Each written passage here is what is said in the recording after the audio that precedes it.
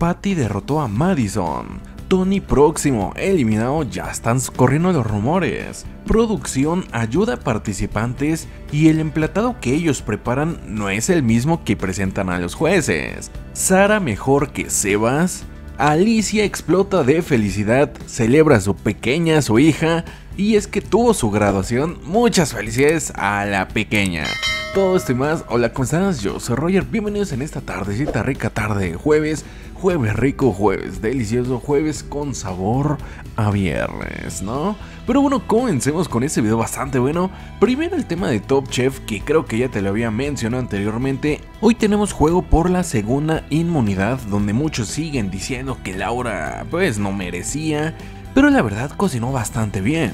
Y como te digo, hoy tenemos juego por la segunda inmunidad, ya veremos quién se está ganando. Lo que se estaría mencionando en redes sociales bastante es que al parecer Tony es el próximo que estaría en riesgo de eliminación. Ya salió Johnny y muchos mencionan que Tony es el que próximo que podría estar saliendo. Otros mencionan que no debería salir porque el programa se pone aburrido sin ese tipo de participantes que le ponen sabor, pero es hay que hay que aceptar que es un reality de cocina y tienen que quedarse los que mejor cocinan. Y hablando de esto, hay mucha gente que está hablando de Sara y de su talento.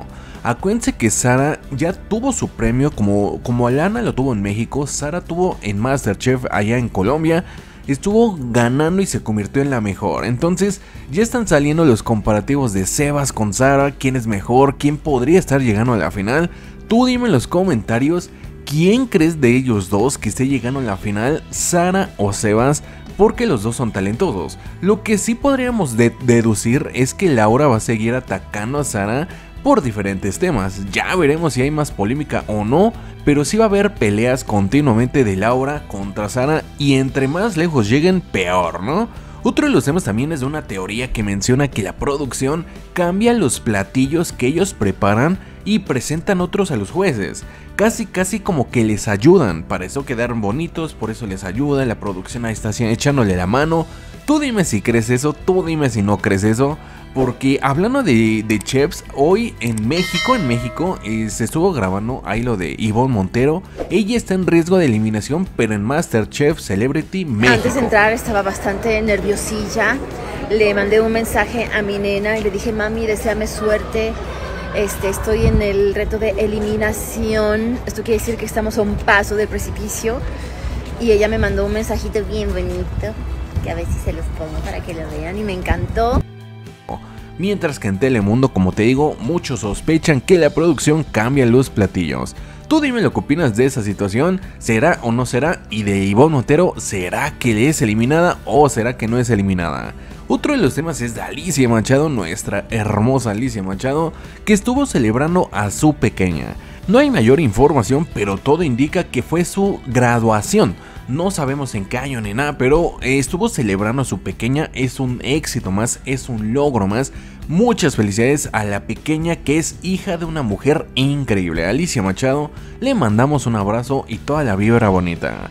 Y hablando ahora de Patty contra Madison, acuérdense que en casa con Telemundo hicieron un concurso, mini concurso de chefs que estuvo Pepe, Pepe fue el primer eliminado, estuvo Osmel, Osmel fue el segundo eliminado y la final fue Madison contra Patty. Y Patty terminó vencedora, Patty orgullosa que sí, era la mejor que era la que mejor cocinaba en la casa de los famosos. Ya ya le dieron su premio, muchas felicidades a Patty.